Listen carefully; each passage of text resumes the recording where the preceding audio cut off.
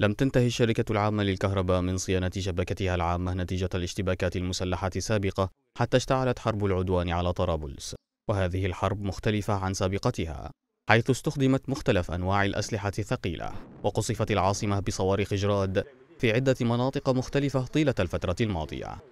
الوضع الشبكة في آه، الفترة الحالية وفي الأيام الحالية الحمد لله يعني الوضع جيد ما عدا المناطق اللي وقعت تحت آه، أضرار أو نتيجة الاشتباكات اللي شهدتها بعض المناطق في جنوب طرابلس انقطاع التيار الكهربائي نتيجة أضرار بالشبكة.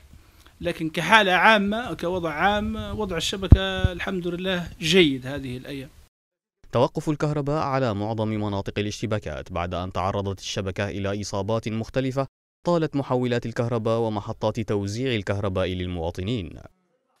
فرق الصيانة لم تستطع آه، آه، دخول آه، لأغلب المناطق لصيانة الأضرار والفرق جاهزة فرق الصيانة جاهزة ومستعدة لصيانة الأضرار الجسيمة التي لحقت بمكونات الشبكة الكهربائية حال توفير ممرات آمنة لفرق الصيانة.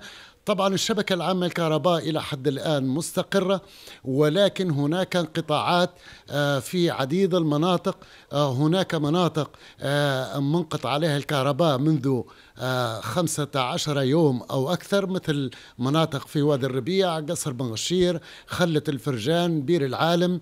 الكثير من المناطق اللي سكانها يرزحوا في ظلام دامس.